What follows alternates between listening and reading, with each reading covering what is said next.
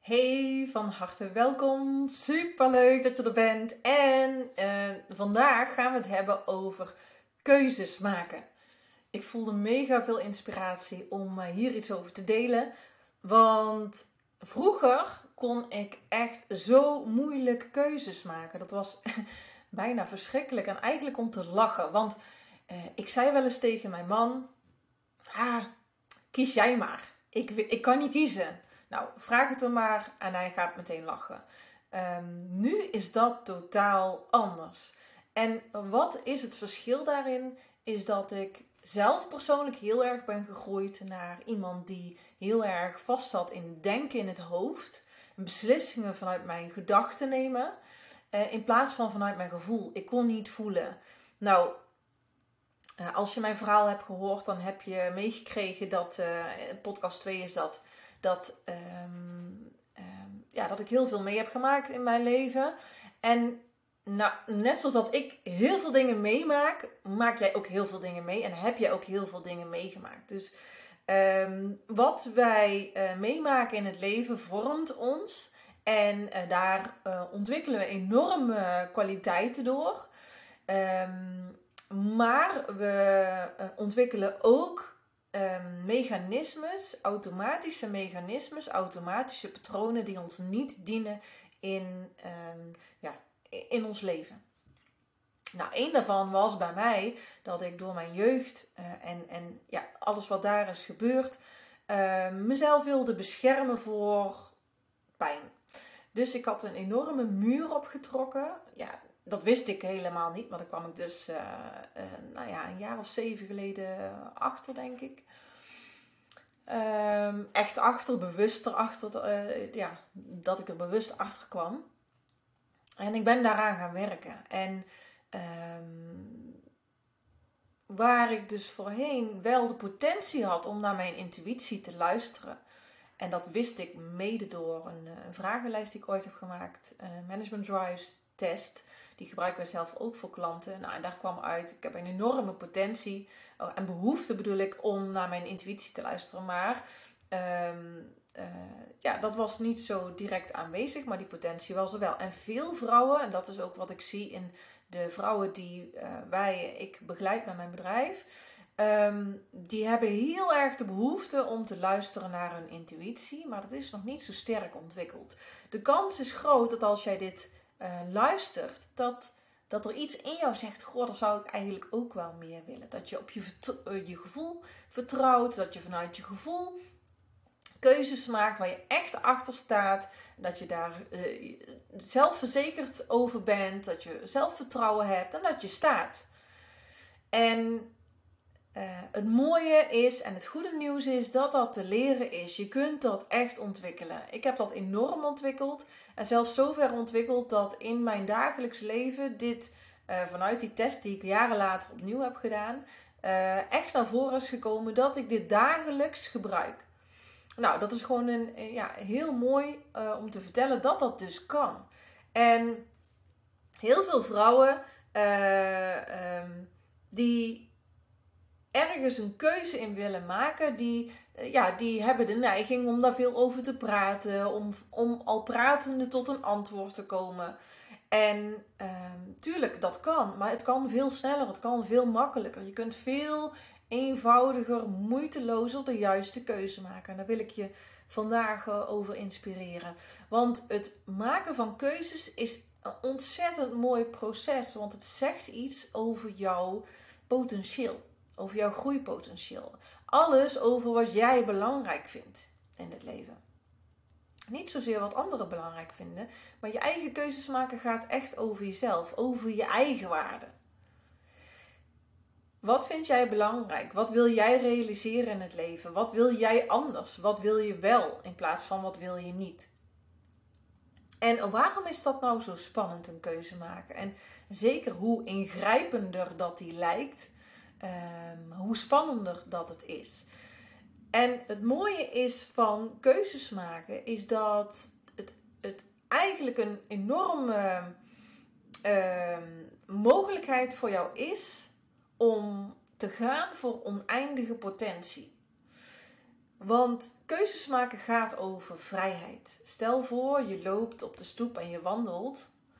Ehm, dan is het veilig, daar kan niks gebeuren. Maar stel voor, je loopt op een heel smal paadje langs een kloof. En naast je is een enorme afgrond waar je weg kan glijden. De vrijheid die je daar hebt, vanuit de val die je zou kunnen maken, die is enorm groot. En dat maakt het dus heel erg beangstigend. Dus de voorwaarden die er zijn, maken of dat iets spannend is of niet. En die vrijheid die dan ontstaat, dat is vaak eng. En dat komt door ons ego. Nou, als je al meerdere podcasts van mij hebt geluisterd, dan weet je dat ik hier heel veel over praat. Want um, je hebt eigenlijk twee, nou, als ik het zo even grof mag schetsen, twee stemmen in je hoofd. Eentje vanuit je verlangen, wat je heel graag wil, wat je wenst, wat je, wat je uh, behoefte is, wat je belangrijk vindt. En je beschermingsmechanisme die zegt, ja, ho eens even, geen geen keuzes maken die gevaarlijk zijn, want dadelijk overkomt jou iets. Nou, dat is dat beschermingsmechanisme is functioneel, uh, maar is ook heel vaak niet functioneel.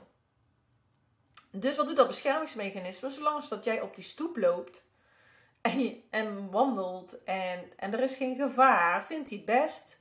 Maar zodra jij natuurlijk over dat paadje wil gaan lopen, langs die kloof, om misschien wel de mooiste plekken te ontdekken in deze wereld, zegt hij. Ja, ho! dus uh, je hebt te dealen met een verlangen en je hebt te dealen met je beschermingsmechanisme die jou wil beschermen. Dus het is heel erg belangrijk om daar uh, heel bewust van te zijn. En, en ja, daar gaat alles over. Als je iets fantastisch in het leven wil manifesteren, dan is het. De basis is bewustzijn. Bewustzijn van je gedachten, je gevoelens, je angsten, je overtuigingen, je uh, uh, onzekerheden, je, je uh, enorm verlangen naar iets. Dus een keuzeproces is een heel mooi proces van jezelf om jezelf steeds verder te leren kennen. En vanuit hoe beter jij je kent, hoe makkelijker jij keuzes maakt, hoe makkelijker jij ergens voor gaat, hoe makkelijker jij zelfverzekerder bent, meer vertrouwen hebt. Ehm, dus dat is een heel mooi proces. En dat ego, dat beschermingsmechanisme, wil dat jij in die uh, comfortzone blijft. Daar is alles veilig. Maar in die comfortzone groeit niks. Die bubbel, er groeit niks. Dus als jij op het punt staat om een keuze te maken, dan betekent dat dat daar waarde in zit voor jou. Dat zegt dus iets over jouw behoeftes en verlangens. Maar dat krijg je niet in die bubbel. Dat betekent dat je dus uit je comfortzone moet gaan. Dan begint je ego, je beschermingsmechanisme te sputteren van nee, wat ga je nou doen? Blijf in die veilige haven dan dat zegt dus iets over jouw angst, over jouw onzekerheid. Dus dat vraagt van jou: oké, wil je een keuze maken die een mooie verandering brengt in jouw leven? Die zit nooit in je comfortzone. Nooit. Altijd daarbuiten. Want als je iets nieuws wil, dan betekent dat dat jij je groeipotentieel extra wil benutten. En jouw groeipotentieel is altijd groter dan de bubbel waar je altijd in leeft. Dat betekent dus voor jou leiderschap nemen over wat jij belangrijk vindt. Gaan staan voor wat jij belangrijk vindt. De leiding nemen en de keuzes maken die wellicht spannend zijn, maar die jou wel helpen om jouw groeipotentieel of datgene in het leven wat jij belangrijk vindt, om daarvoor te gaan. Dus keuzes die spannend zijn, dat is fantastisch, want angst is een teken van groei. Onthoud deze. Deze leer ik onze klanten ook altijd. En, en nou, ooit, jaren later zeggen ze het nog. Angst is een teken van groei. Dat betekent op het moment dat je die stelling eigen maakt, dat je jezelf toelaat, hey, angst is oké. In plaats van angst mag er niet zijn, onzekerheid mag er niet zijn. Ja, natuurlijk mag het er wel zijn. Op het moment dat het er niet mag zijn, laat je eigenlijk een deel van jou er niet zijn. En systemisch gezien, uh, ik ben ook opgeleid tot systemisch coach, dus ik mag ook opstellingen begeleiden. Iets wat er niet mag zijn en je wegduwt, komt tien keer harder terug. Dus het is heel erg belangrijk om dat te laten zijn. En ik zal je zo even wat tips geven van hoe kun je daar dan eigenlijk heel goed mee omgaan. Want je kunt daar heel veel last van hebben. Van die stem in je hoofd, die harde stem die zegt: Ja, zou je dat nou wel doen? Dadelijk uh, gebeurt er dit, dadelijk gebeurt er dat, dadelijk verlies je dit, dadelijk. Uh, nou, en die maakt het heel groot. En jij denkt dan op het moment dat jij niet zo bewust bent dat die stem met jou dus aan de haal gaat, dan denk je: Oké, laat me zitten. Tenzij je leert dat jij in de leiding bent als vrouw. Jouw vrouwelijk leiderschap heeft altijd de keuze: laat ik mij leiden door mijn beschermingsmechanisme die niet wil groeien, die geen verandering wil, die alles hetzelfde wil houden. En dan blijft mijn leven zoals het is. Word je dan gelukkig? En stel je staat straks aan het einde van je leven en kijkt terug. Ben je dan voldaan? Soms moet je even de dood erbij pakken om echt te weten hoe belangrijk iets voor je is. Want het gezegde is: je kunt beter spijt hebben van iets wat je hebt gedaan, dan spijt hebben van iets wat je niet hebt gedaan. En het mooie is van als je dingen doet, keuzes maakt, ehm, dan zijn er twee dingen. Je er zijn twee uitkomsten, laat ik het zo zeggen. Je kunt een uitkomst hebben waarbij wat je krijgt precies voldaan heeft aan je verwachtingen, of nog beter. Of het brengt je niet wat je had gewild. En toch is die interessant. Waarom? Keuzes maken kun je ook doen vanuit of een diep verlangen, een zachte stem in jou die zegt: Oh, ik zou dat zo graag willen die is heel subtiel. En vaak hebben we niet geleerd in ons leven om te luisteren naar die subtiele stem in ons. Dat is ons innerlijk kompas. Dat is de zachte stem van je intuïtie die zegt: Oh, het allerliefste zou ik graag. Want die overheersende stem in ons hoofd, dat ego, dat beschermingsmechanisme, die, die is heel duidelijk aanwezig. Ja, wie denk jij wel niet dat je bent? Wat zullen anderen wel niet van je vinden? Anderen zijn beter dan jou. Nee, die hebben meer gestudeerd, die hebben meer ervaring. Kom jij aan? Zien ze jou aankomen? Oh, dadelijk, word je, uh, dadelijk mislukt het en dan, en, dan, en dan heb je gefaald. Nou, zo kan ik nog wel even doorgaan. En, en misschien zit je nu wel te lachen als je dit hoort. Dat je denkt, jeetje, ja, zo herkenbaar. We hebben in onze opvoeding en in ons leven vaak niet geleerd om echt heel goed naar die zachte stem te luisteren. Uh, en om te gaan met die harde stem in ons hoofd. Althans, als ik voor mezelf spreek en als ik kijk naar mijn klanten, dan zie ik echt een ontzettende rode draad daarin. Wat mij betreft zou dit op school veel meer meegenomen mogen worden um, in ons opvoedsysteem. En niet alleen maar wiskunde en taal en al die, die rationele uh, vakken. Want de meeste ehm, wijsheid komt van binnenuit. Je wijsheid in je innerlijk kompas komt vanuit je zuivere intuïtie, vanuit je zuiver weten. Ik heb ook een opleiding tot um, intuïtief leiderschap gedaan, waarbij managers en CEO's ook zaten in die opleiding. En waarom zaten ze daar? Om betere beslissingen te kunnen nemen in hun bedrijf of in hun werk, door los te komen van hun rationele brein. Dat is niet voor niks. En dat is gewoon jammer dat we dat niet hebben meegekregen. Maar het goede nieuws is, je kunt het dus leren. Ik heb het ook geleerd. Jij kunt het ook leren als je maar wil. Als je de keuze maakt, hé, daar hebben we het over keuze. Ja, ik beslis nu, ik wil dit graag leren. Ja, ik beslis nu, dit wil ik verder ontwikkelen. Want je voelt diep van binnen, als ik dit zeg, oh, wil ik dat eigenlijk graag? Ja, precies, dat dus, die stem dus. En weet, als je dus een beeld hebt van een keuze die je maakt en je denkt: oké, ik, ik wil dat, dat ik dit resultaat eruit haal, dan kan dat ook nog een verschil maken. Komt dat vanuit je hartsverlangen, die zachte stem, die zegt: ik zou heel graag dit willen? Of komt dat vanuit je ego, vanuit: oh, ik wil. Uh, bewijzen dat ik het kan. Ik wil iets neerzetten en aan iedereen laten zien dat ik het kan. Omdat jij vroeger er misschien niet bij hebt gehoord of niet gezien werd door je ouders. Ehm, of omdat je er niet toe deed, omdat je broer of je zuster wel toe deed voor je gevoel. Ja, zo kan ik allerlei redenen bedenken.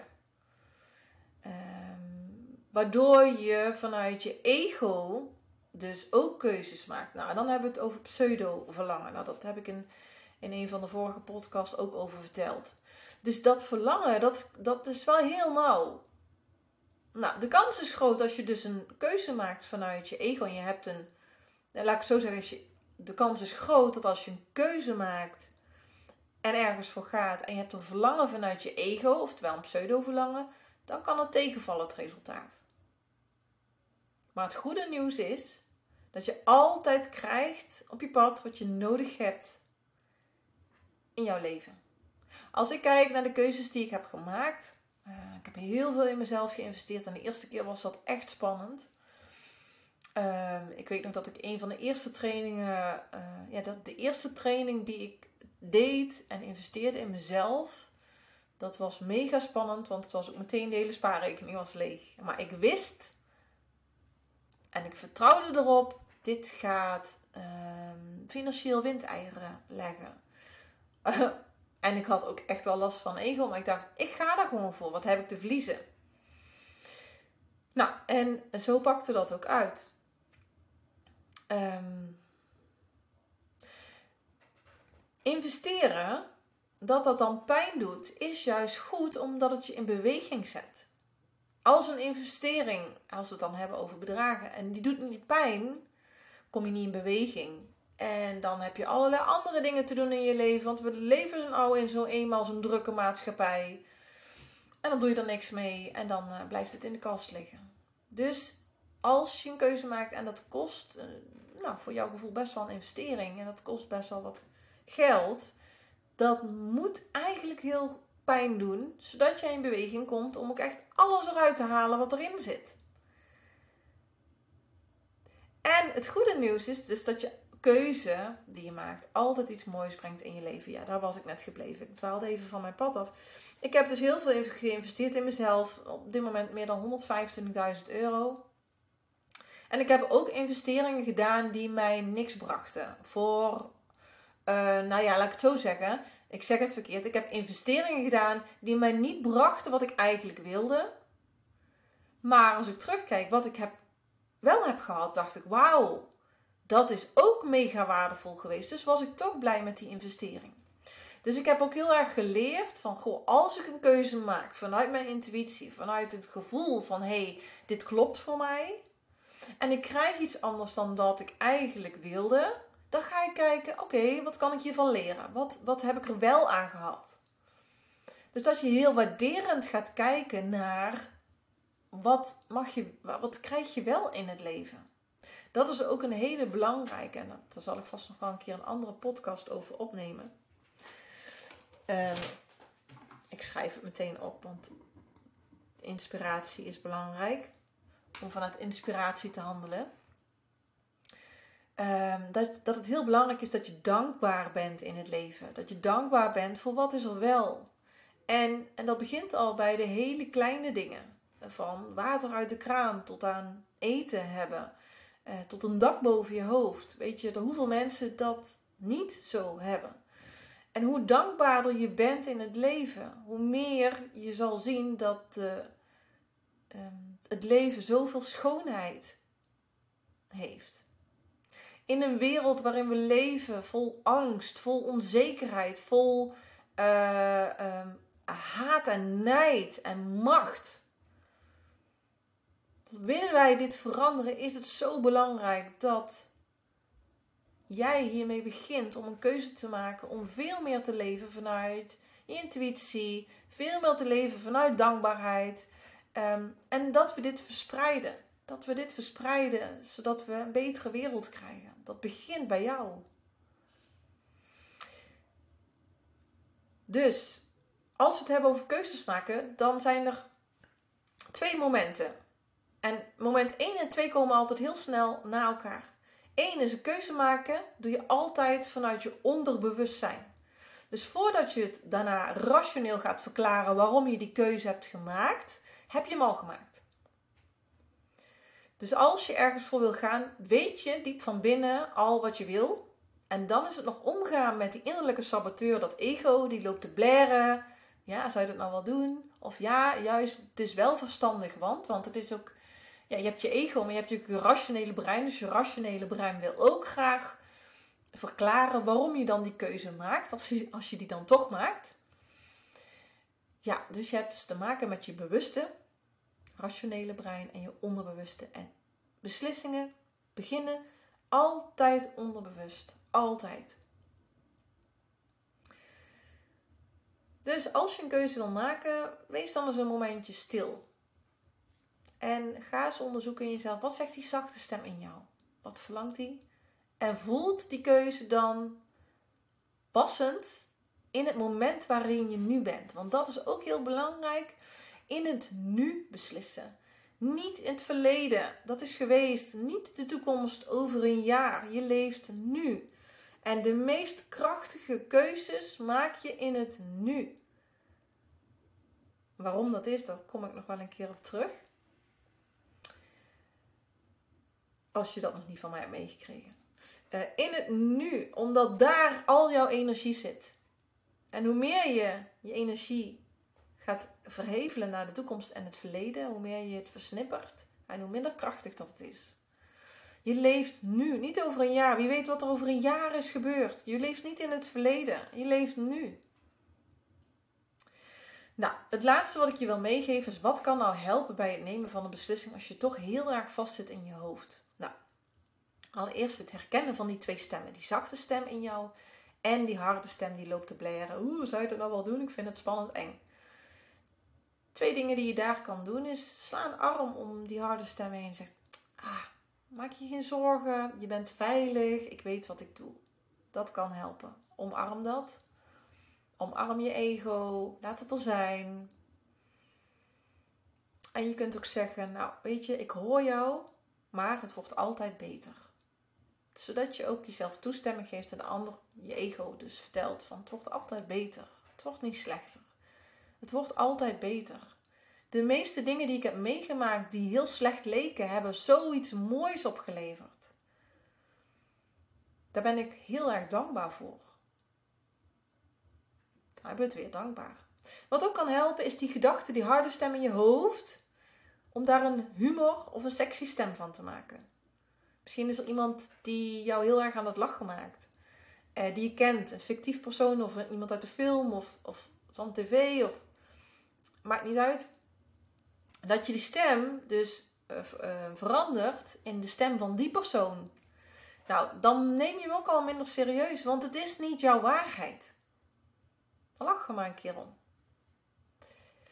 En andere is, als je meer in je gevoel wil komen, wat ook kan helpen, is de twee keuzes bijvoorbeeld die je hebt, of drie. Uh, schrijf het op een blaadje. Um, draai het blaadje om dat je niet ziet wat erop staat. En leg die op de grond. En ga er eens op staan. En kijk eens wat je dan voelt. Dat kan ook heel erg goed helpen om je gevoel meer naar boven te laten komen. Om je te helpen om de juiste keuze te maken. Dus onthoud, een keuze gaat altijd over jouw groeipotentieel, over wat jij waardevol vindt. En begint altijd onderbewust vanuit je gevoel. Nou, ik eh, hoop je hiermee te hebben geïnspireerd en ik wens je een uh, fantastisch uh, proces toe in het maken van keuzes en het ontdekken van jezelf om een sterkere, onafhankelijke, nieuwe vrouw, nieuwe businessvrouw te worden.